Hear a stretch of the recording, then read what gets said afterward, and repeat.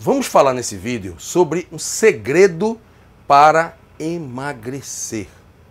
Um segredo que eu quero compartilhar com vocês aqui agora nesse grupo de estudos que não para de crescer, que é o canal de Psicomedicina e Medicina Natural.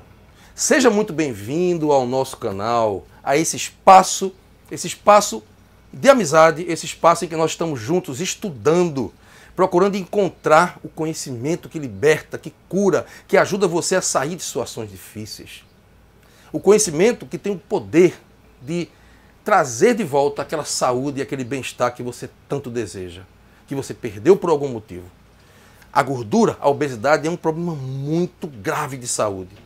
E muitas pessoas buscam infrutíferamente é conseguir o emagrecimento definitivo e não conseguem. Porque fazem dietas restritivas e não conseguem ter um rumo, não conseguem ter um norte nesse processo de emagrecimento. As questões chaves vão ser faladas aqui nesse vídeo. Nós vamos falar o segredo para emagrecer, que estão nas enzimas metabólicas. Mas antes de falar sobre as enzimas metabólicas, que esse vídeo vai ser uma aula sobre isso, eu peço para que você compartilhe esse vídeo no WhatsApp Peço também que você se inscreva em nosso canal. Muitas pessoas estão assistindo os vídeos e não são inscritas no canal. É importante que a gente tenha um maior número de inscritos para que o canal possa crescer, para que o canal ganhe relevância no YouTube e, e, os assuntos que são tratados aqui, os vídeos que são feitos possam ser disponibilizados para a maioria das pessoas, para mais pessoas. O YouTube dá mais é, credibilidade para o canal que tem mais inscritos. Mas esse canal não para de crescer e conto com você para sua inscrição. Além disso, quando você se inscrever, não deixa de clicar no sininho, porque o sininho é importante para que você receba os vídeos novos. Muita gente fala, fala Marco, eu não estou recebendo seus vídeos novos, faz tempo que você não faz vídeo. Eu estou fazendo vídeo praticamente todos os dias, às vezes dois vídeos por dia. E você pode não estar tá recebendo porque você não clicou no sininho. Dá uma conferida aí se o sininho está clicado, ok? Voltando para as enzimas metabólicas, Vamos falar agora sobre um assunto importantíssimo para tentar encontrar soluções simples para um problema que muitas vezes parece impossível de ser resolvido: o emagrecimento. Bem, nós precisamos ingerir gorduras todos os dias. Ao contrário do que a mídia divulga e o que uma boa parte das pessoas pensa, gordura não é ruim. Nosso corpo precisa de gordura. Agora, existem gorduras boas e gorduras venenosas, gorduras ruins. Vamos falar sobre as gorduras ruins em outros vídeos, que são as gorduras trans, as gorduras alteradas pela indústria, certo? Na forma das margarinas e dos óleos vegetais re refinados. Vamos tratar hoje sobre as gorduras boas, que nós precisamos de gordura. Nosso corpo necessita de gordura para sobreviver. Nosso corpo, as células precisam de gordura para produzir determinadas moléculas fundamentais para a saúde, inclusive hormônios. Então, gordura é bom para a saúde. A saída, gente, está na parcimônia, na moderação, o chamado caminho do meio. Não é bom ter gordura demais, também não é bom ter gordura de menos. Quantas pessoas bem magrinhas perguntam para mim, doutor, como é que eu posso fazer para engordar? Eu acho até ainda mais difícil do que emagrecer. Doutor, como é que eu posso fazer para emagrecer? Né? É difícil emagrecer, principalmente quando você está com o teu metabolismo truncado. É muito complicado esse, esse, processo de emagrecimento, mas que, a partir de determinado conhecimento, pode se tornar bastante simples. E é isso que nós vamos ver nesse vídeo agora. Como se processa o metabolismo das gorduras? Elas entram pelo tubo digestivo, são absorvidas no intestino delgado e são empacotadas em uma proteína e levadas para o tecido adiposo. O que é tecido adiposo? É o tecido que existe na periferia do corpo da gente, composto de células gordurosas. As células gordurosas, elas têm uma das funções delas é absorver as gorduras e acumular, guardar, ser o armazém que guarda as gorduras para que um dia elas possam ser aproveitadas e utilizadas pelo corpo. Então, tecido adiposo é o armazém que guarda gorduras. É uma forma do corpo estocar energia. Agora, o problema da obesidade é porque esse estoque de tecido adiposo está em excesso. É só isso. Obesidade é acúmulo anormal de tecido adiposo, de tecido gorduroso. Porque todo mundo tem que ter gordura, mas não em excesso. As gorduras penetram através do, do estômago, vão para o intestino delgado, onde sofrem a ação de uma enzima chamada lipase pancreática, que é uma enzima digestiva, para poder serem dissolvidas através da bile também.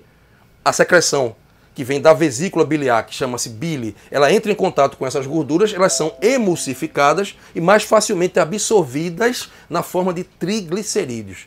E esses triglicerídeos são levados para serem acumulados, serem guardados no tecido adiposo. E o que é um triglicerídeo? Ah, obviamente você já ouviu falar nisso, porque o médico pede esse exame, triglicerídeo. Triglicerídeos são moléculas de gordura, que são compostas de ácidos graxos. Então, toda vez que eu me referi a triglicerídeos, toda vez que eu me referi a ácido graxo, estamos falando de gordura. Então, três ácidos graxos se juntam junto com uma molécula de glicerol e formam um triglicerídeo. E essa é a forma com que a gordura é transportada no sangue. Então, o ácido graxo, que é, na realidade, a unidade básica que forma o triglicerídeo, é a gordura que é queimada em alguns tecidos especiais para obtenção de energia. Essa é uma das utilidades das gorduras, ser uma fonte de energia. Gordura é bateria. É a bateria que alimenta o teu corpo de energia. Então é preciso você ter gordura. O músculo esquelético e o músculo cardíaco, eles são ávidos por gordura. Porque, na realidade, existem duas formas do corpo da gente obter energia. Através da glicose, que é uma molécula também de energia fantástica, que várias células do corpo utilizam a glicose como fonte principal de energia, principalmente as células do cérebro, os neurônios. A glicose é queimada, libera energia na forma de ATP, e essa energia é usada pela célula para poder a célula sobreviver. Porque toda célula precisa de energia para poder funcionar. Então, a bateria da célula é a glicose. Ao mesmo tempo, o ácido graxo, que é esse tipo de gordura que eu falei, a unidade básica da gordura que eu falei aqui para vocês, ele é também queimado dentro da célula, assim como a glicose também é, para a obtenção de energia. Só que existe uma diferença. A glicose fornece uma quantidade X de energia e o ácido graxo fornece muito mais energia do que a glicose. Por isso que determinadas células do corpo, como por exemplo as células musculares, a célula do coração, que é um miócito cardíaco, necessitam de muito mais energia do que as outras, dão preferência a queimar ácido graxo, a queimar gordura, do que queimar glicose. Então, por exemplo, o músculo está o tempo todo precisando de muita energia para se contrair, principalmente no coração, que não para de bater nunca. O que acontece? Ele vai, ele vai queimar glicose, que, que fornece pouca energia? Não. Ele vai queimar ácido graxo, que fornece muito mais energia do que a glicose. Então, o músculo cardíaco e o músculo esquelético, que é esse músculo que faz nós que nos faz movimentar o corpo, que movimenta o nosso corpo todo, que você usa bastante quando está fazendo exercício. Esse músculo esquelético e o músculo cardíaco usam o ácido graxo, que é a gordura, como energia, como combustível. Eles queimam essa gordura para obtenção de ATP, para que a célula possa ter força suficiente para se contrair, para o músculo se contrair. Entendeu? Imagina a quantidade de energia que o coração precisa, porque ele não para nunca, ele não pode parar. Afinal, se ele parar, você morre. Então, o coração é também um órgão que demanda muita energia o tempo todo. O coração precisa de gordura. Por isso que essa história de dizer que gordura faz mal é o maior mito que existe. Gordura faz muito bem à saúde e é necessária. Agora a gente precisa se alimentar de gorduras boas. As gorduras, por exemplo, presentes no óleo de coco são excelentes porque são triglicerídeos de cadeia média são triglicerídeos de cadeia média, que eles vão agir é, fornecendo energia rapidamente. Então, eles chegam no corpo da gente e já vão ser usados pelo coração e, e pelos músculos esqueléticos para dar energia para você. Eles não precisam passar pelo processo todo de metabolismo das, das gorduras para poder dar energia para você. Então, resumindo, o coração precisa a todo momento de energia. Para isso, ele queima como combustível gordura. Por isso que nosso corpo, inteligentemente, já possui uma reserva fluindo pelo sangue de triglicerídeos, que está na faixa entre 90 e 140. É aquele que você dosa quando faz o exame de sangue. Então, qual é a minha taxa de triglicerídeos? É 140, 130, 120.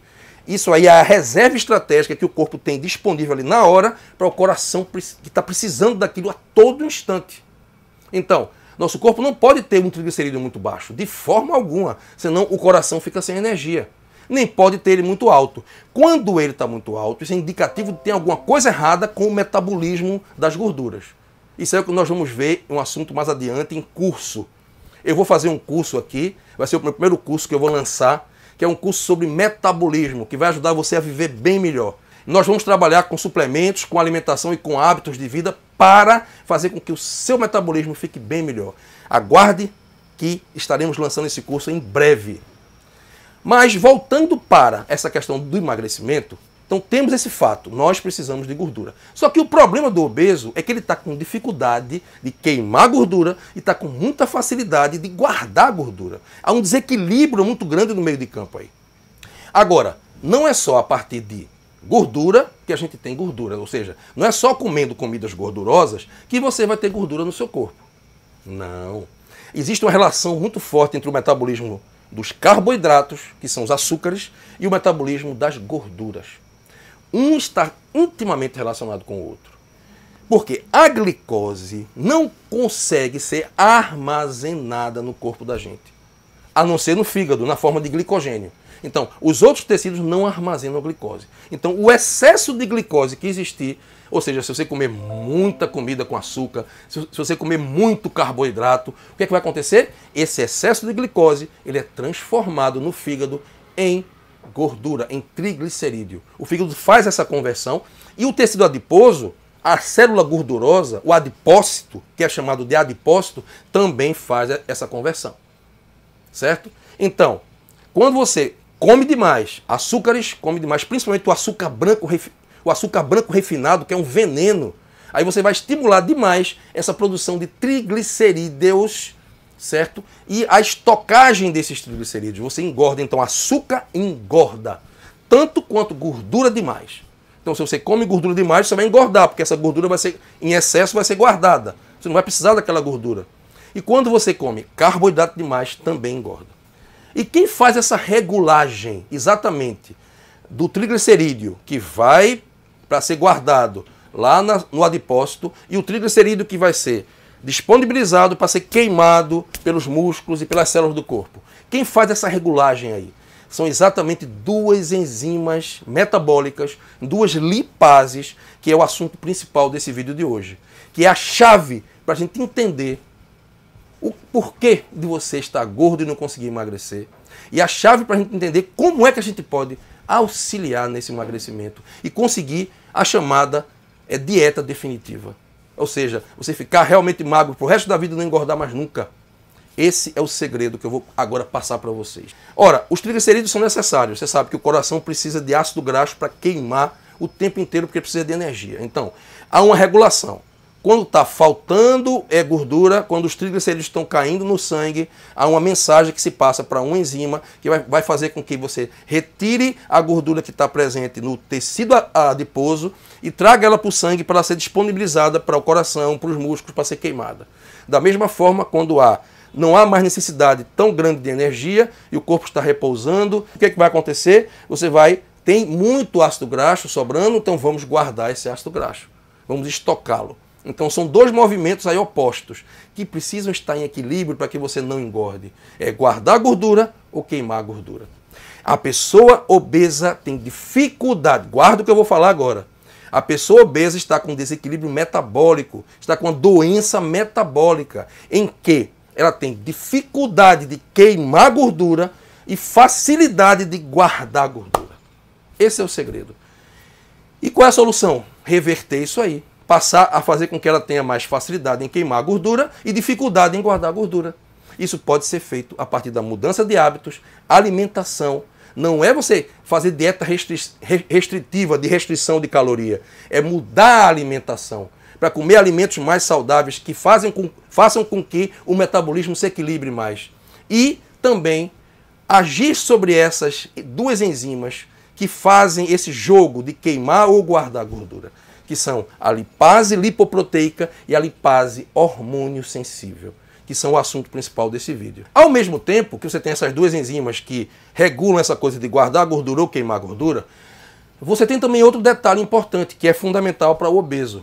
A célula do coração, que é o miócito cardíaco, a célula muscular do, dos músculos esqueléticos, que são os músculos, são os miócitos né, do, da musculatura esquelética, eles têm na sua membrana uma maior ou menor dificuldade de deixar o ácido graxo entrar. Essa é uma questão chave, ou seja, existem determinadas moléculas que são necessárias para que o ácido graxo que está circulando pelo sangue, que é a gordura, entre dentro dessas células e possa, dentro da mitocôndria, ser melhor queimada.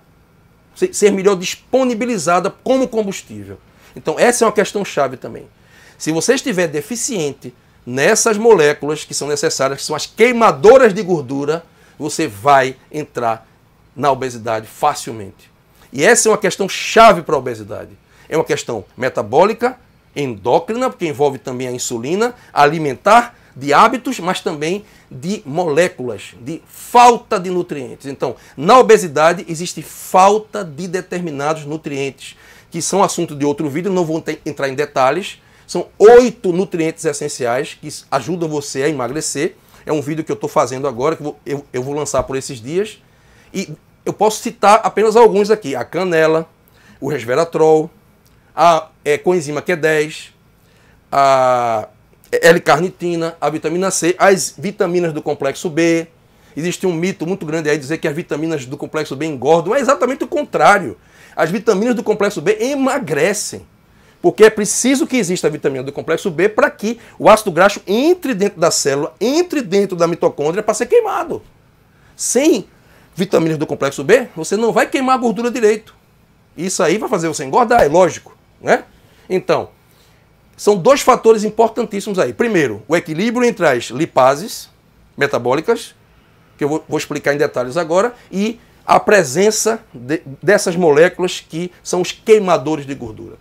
Se você tiver um desequilíbrio nas lipases, que façam com que, com, com que você engorde mais facilmente e queime com mais dificuldade, e ao mesmo tempo você tem um problema da falta desses nutrientes que fazem com que o ácido graxo entre dentro da célula para ser queimado. Se houver a conjunção dessas duas coisas, você vai ser um obeso e vai tender a ser um obeso mórbido se não se cuidar, porque isso vai piorando cada vez mais. Certo? Vamos ao assunto desse vídeo, que são as duas enzimas. As enzimas e os hormônios que estão envolvidos com elas. Em primeiro lugar, temos a lipase lipoproteica. Em segundo lugar, a lipase hormônio sensível. Elas vão agir de uma maneira antagônica uma age de uma forma e a outra age de outra. A lipase lipoproteica é uma enzima que engorda. A lipase hormônio sensível é uma enzima que emagrece. Qual é a ação da lipase lipoproteica? Ela vai agir fazendo com que o triglicerídeo que está circulando no sangue seja facilmente hidrolisado, se destaca da molécula de proteína que o transporta e entra mais facilmente dentro no, do adipócito para ser acumulado. Então, lipase lipoproteica vai fazer com que o triglicerídeo saia do sangue e entre, de, e entre no tecido adiposo para aumentar a quantidade de gordura dentro do tecido adiposo. Essa é a função da lipase lipoproteica, estocar gordura. E quem é que faz o estímulo para essa enzima?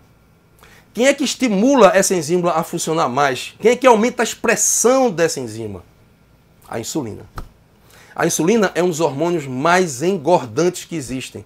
Quando a insulina sobe muito, você tem um pico de insulina, você vai ter uma estimulação da lipase lipoproteica e você vai engordar. O triglicerídeo entra no tecido adiposo, entra no adipócito com mais facilidade. Então você engorda. Esse é um dos problemas sérios aí. Então, se você tiver determinadas situações ou condições ou hábitos que estimulem a lipase lipoproteica, é, você vai engordar. Esse é o segredo. A insulina sensibiliza os adipócitos a colocar gordura para dentro deles. Então veja como a insulina é um hormônio, quando está em excesso, é um hormônio cruel para engordar você. Por isso que quando você come muito açúcar, você come muito e a sua insulina está alta, você se torna um obeso com muita dificuldade de emagrecer, porque você está, você está o tempo todo a partir da, da insulina, estimulando a lipase lipoproteica. Esse é um dado do, do qual você não pode fugir. Para poder emagrecer, tem que fazer o contrário, inibir a lipase lipoproteica. É isso que nós vamos ver daqui a pouco. Deste processo surge o que nós chamamos de círculo vicioso. Por quê? Quanto mais gordo você está, mais você tem resistência à insulina, mais a insulina aumenta, mais, com mais insulina, mais você estimula a lipase lipoproteica, mais você estimula a expressão dessa lipase, você vai ter mais presença de lipase lipoproteica, e com, com mais lipase lipoproteica, você vai ter um maior estímulo para o triglicerídeo entrar no tecido adiposo, entrar no adipócito, e isso vai fazer com que se guarde mais gordura. Então, quanto mais gordo, mais facilmente você engorda, porque mais insulina você tem. E com mais insulina, mais você estimula a lipase lipoproteica. E com, a, com mais lipase lipoproteica, mais você estoca gordura. É simples assim. Esse é o caminho maldito da obesidade. Esse é o vício que se, que se torna, o vício metabólico que causa a obesidade, que faz com que pessoas cheguem assim e dizem: Ah, doutor, eu como tão pouco já engordo, com certeza. Chega um determinado ponto que, mesmo comendo muito pouco, a pessoa já engorda. Porque a insulina está altíssima no corpo. Aí é onde entra o jejum. O jejum intermitente. Porque com o jejum, o que, é que vai acontecer? Você vai quebrar, você vai diminuir a insulina. O, o, o jejum intermitente principalmente, aumenta o glucagon e diminui a insulina. Quando você diminui a insulina, estimula menos a lipase lipoproteica e aí vai engordar menos. E com o tempo, cada vez menos vai ter expressão de lipase lipoproteica. Vai ser mais fácil você emagrecer. É esse o processo que acontece. Outro detalhe importante que é muito forte para os homens é a testosterona. Se os seus níveis de testosterona estiverem baixos, você engorda. Por quê? Porque a testosterona é um hormônio que inibe a lipase lipoproteica, que é essa enzima engordante que eu falei aqui. Então, a testosterona baixa, você vai ter menos essa inibição. E aí a lipase lipoproteica vai ficar mais evidente, com mais expressão, mais forte e vai atuar principalmente na região abdominal, aumentando a entrada das gorduras, dos triglicerídeos que estão circulando no sangue, nesse, nessa capa de tecido gorduroso que envolve as vísceras abdominais. Então você vai ter aquela barriga muito gorda dos homens que têm baixa testosterona. Nos homens que são castrados, você observa que eles engordam, principalmente na região abdominal, porque a falta da testosterona vai aumentar a expressão da lipase lipoproteica. Então, Muitos homens que hoje estão com a barriga muito grande têm deficiência de testosterona. É preciso que veja isso aí. Isso pode ser corrigido também com a medicina natural, com alimentação e suplementos. É um vídeo, inclusive, que eu vou fazer dentro em breve para vocês, tá? O hormônio do crescimento também inibe a lipase lipoproteica, o GH, né, que é o hormônio do crescimento. E quando é que você tem mais hormônio do crescimento? Exatamente quando você dorme melhor. Por isso que dormir bem ajuda a emagrecer. Porque com mais hormônio do crescimento, você vai inibir a lipase lipoproteica e quanto mais a lipase lipoproteica estiver inibida, menos você vai guardar gordura.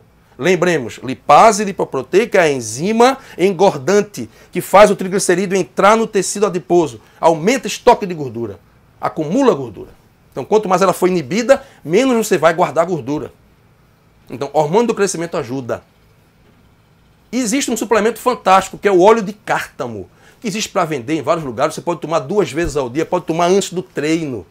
O óleo de cártamo, ele atua exatamente inibindo a lipase lipoproteica e estimulando a lipase hormônio sensível, que tem o efeito oposto da lipoproteica, que ela emagrece. Então, o óleo de cártamo é emagrecedor é um dos nutrientes extraordinários que vão facilitar a queima de gordura e vão inibir essa enzima que engorda, que é a lipase lipoproteica.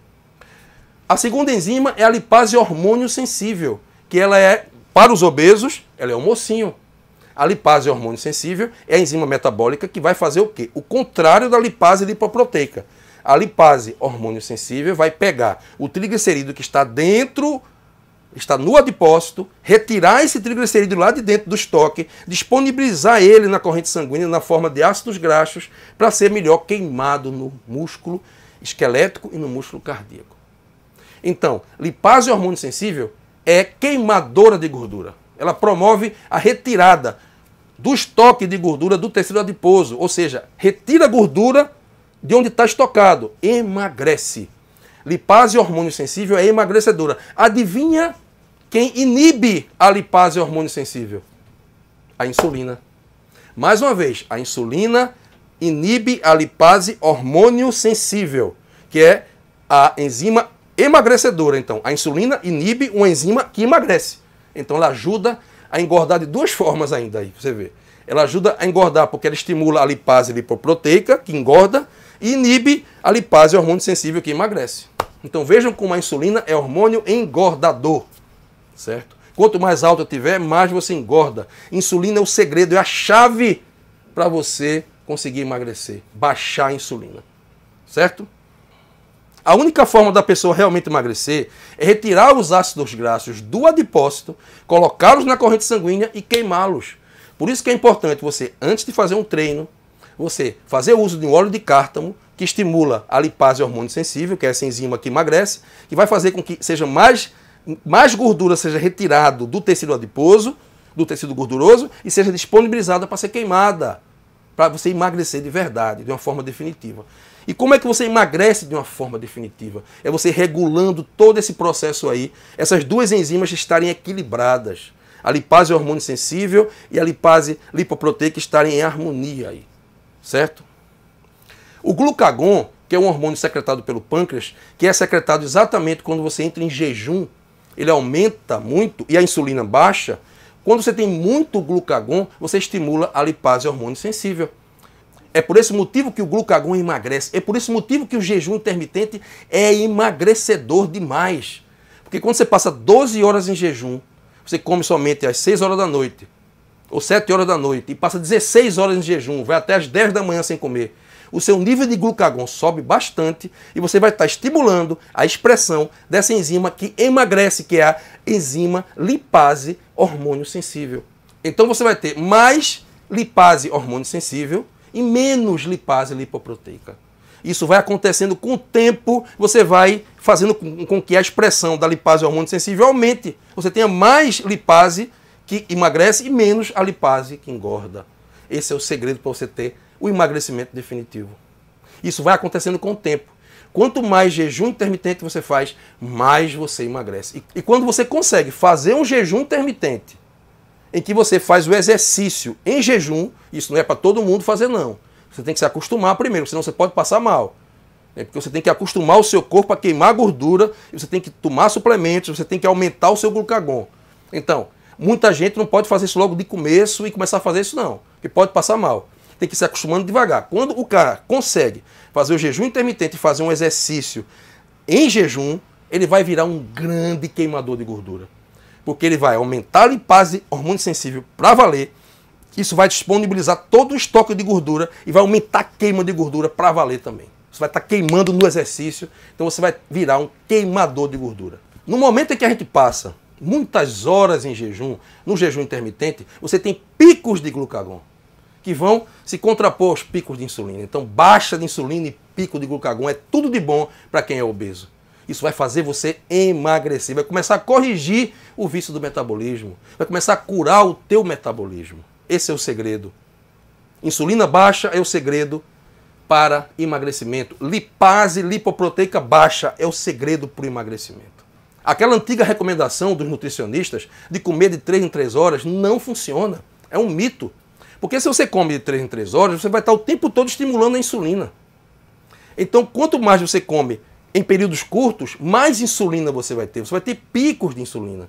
E com picos de insulina, aumenta a lipase a lipoproteica, diminui a lipase hormônio sensível e cria toda uma condição metabólica de se viciar em guardar gordura e ter dificuldade em queimar gordura. Insulina é engordante. Segredo para emagrecer é baixar a insulina. Você baixa a insulina com jejum intermitente, com períodos longos para se alimentar. Tem gente que come de manhã cedo só vai comer de noite. Isso é muito bom. Você vai se acostumando com isso e vai emagrecendo. A chave para a cura da obesidade está nessas duas enzimas, nas duas lipases metabólicas, bem como também na capacidade que as células do corpo possuem em queimar o ácido graxo. São dois fatores que favorecem o emagrecimento. Guardar menos gordura, disponibilizar mais gordura no sangue e saber queimar bem essas gorduras.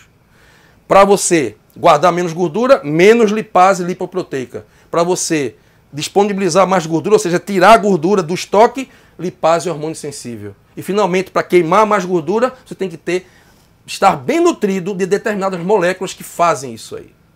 Que é a coenzima Q10, o resveratrol, o ômega 3, a vitamina C, a carnitina, as vitaminas do complexo B. Então são esses os, os fatores aí que fazem você emagrecer e conquistar a dieta definitiva, que não tem nada a ver com restrição de calorias. Ok? Então, resumindo, nós não podemos ter também picos de insulina. Evitar comer açúcar branco. Você não vai conseguir emagrecer se não tirar o açúcar branco. Se não tirar o pão que é cheio de açúcar, o glúten, o glutamato monossódico, eu tenho um vídeo no canal que eu explico aí os cinco alimentos que você precisa retirar da sua vida para que você possa realmente emagrecer. Os cinco alimentos que você precisa tirar para poder você conseguir emagrecer. É, eu, eu, explico sobre eles aí bem detalhadamente, tem um vídeo sobre isso aí. Ok? Então, essa é a questão chave as duas enzimas metabólicas, que é a lipase lipoproteica e lipase hormônio sensível, a insulina e o glucagon. Essas são as questões que estão mais sérias aí, que envolvem hábitos de vida, envolve alimentação. E isso vai ser matéria do meu curso, que eu vou dar em muito detalhe, e já está fazendo efeito em mim. Você pode ter já observado que eu já emagreci. Veja os meus vídeos anteriores, eu estou emagrecendo porque estou colocando em prática isso aqui. Ok? Esse era o assunto do vídeo de hoje, é um assunto muito importante, que vai ser complementado por outros. Fico feliz em estar aqui passando esse conhecimento para você. Existem muitos alimentos que ajudam nesse processo aí de baixar a insulina, de aumentar o glucagon. O jejum intermitente também é importante, vou, vou fazer um vídeo sobre ele especificamente. E desejo para você que você consiga o seu objetivo, que faça um programa de emagrecimento legal que ajude você a encontrar o metabolismo ideal para você ser muito feliz ok? Um abraço para você de coração, um beijo no coração, que Deus possa lhe abençoar sempre.